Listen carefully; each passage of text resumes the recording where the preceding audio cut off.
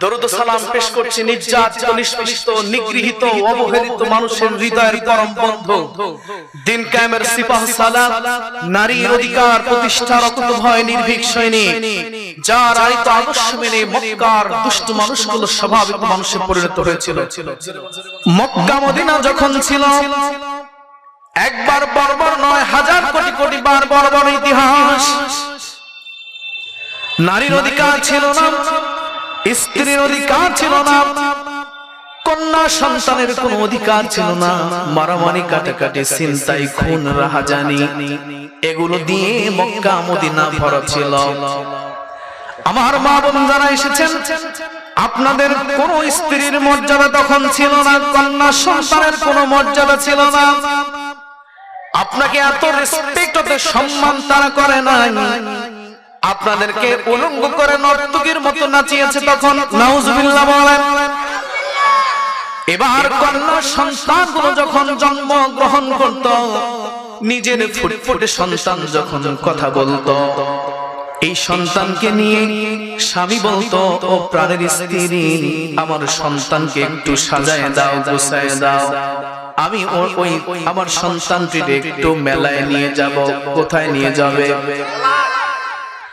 এবার সন্তানটাকে কন্যা সন্তানটাকে মেলায় নিয়ে যাওয়ার জন্য প্রস্তুতি গ্রহণ করা হলো।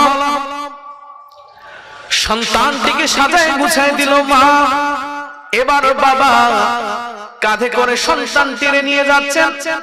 সন্তান মনে মনে মনে করছেন যে আমার মেলায় নিয়ে যাবে বাবা। কিন্তু না না, মরুভূমিতে নিয়ে গিয়ে যখন মাটি খনন করা শুরু করে দিল এমন তো অবস্থায় সন্তান ডাক দিয়ে বলে ও প্রাণের আব্বু আপনি তো আমাকে মেলায় নিয়ে যাওয়ার কথা। আপনি কেন এই উত্তপ্ত মরুভূমির ভিতরে আমারে নিয়ে আসলেন একটু কি বলবেন? নিষ্ঠুর পাষাণ বাবা একটা সন্তানের দিকে তাকায় না। সন্তানটিকে ফুটফুটে কথা বলা সন্তানটিকে মরুভূমির উপরে বসায় রেখে নিষ্ঠুর পাষাণ, বেঈমান, জালিম, জাহেল মানুষটি নিজের সন্তানটিকে বসায় রেখে মাটি খনন করছে। তখন পর্যন্ত ওই ছোট্ট ফুটফুটে বাচ্চা জানে না, নিজের বাবা হয়ে তার সন্তানটিকে জ্যান্ত পুঁতে ফেলবে। এমত অবস্থায় মাটি যখন খনন করা শেষ হয়ে গেল, কন্যা সন্তানটির সেখানে বসায় দেওয়া হলো। এবার মাটি চাপা দেওয়া হলো। এবার সন্তান বুঝতে পেরেছে আর বুঝতে বাকি নাই।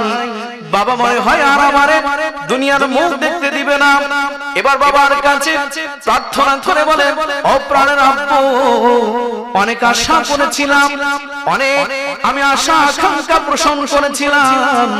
আপনি আমার মেলায় নিয়ে যাবেন, সেই মেলায় নিয়ে গিয়ে আমার ঝুনঝুনি কিনে দিবেন, মজা কিনে দিবেন, চকলেট কিনে দিবেন।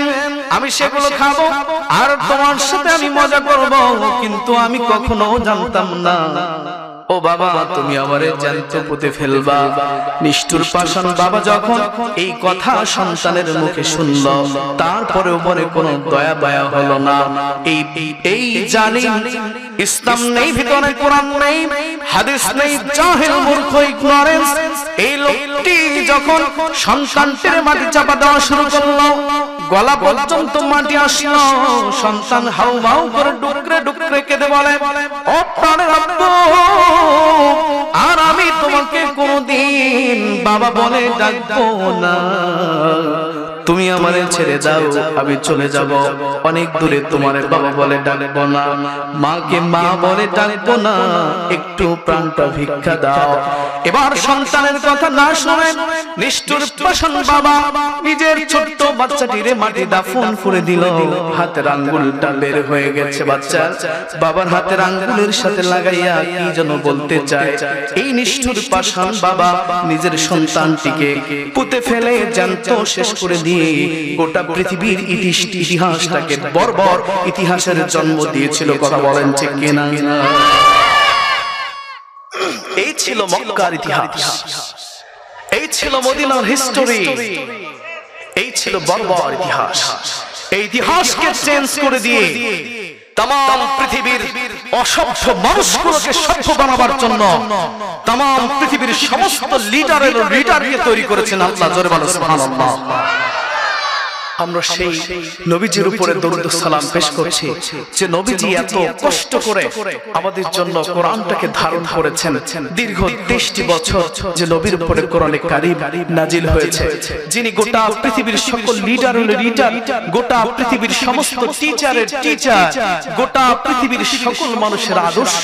তিনি হচ্ছেন আমার আপনার কলিজার টুকরা নবী। জোরে বলেন মোহাম্মদুর রাসূলুল্লাহ সাল্লাল্লাহু আলাইহি ওয়াসাল্লাম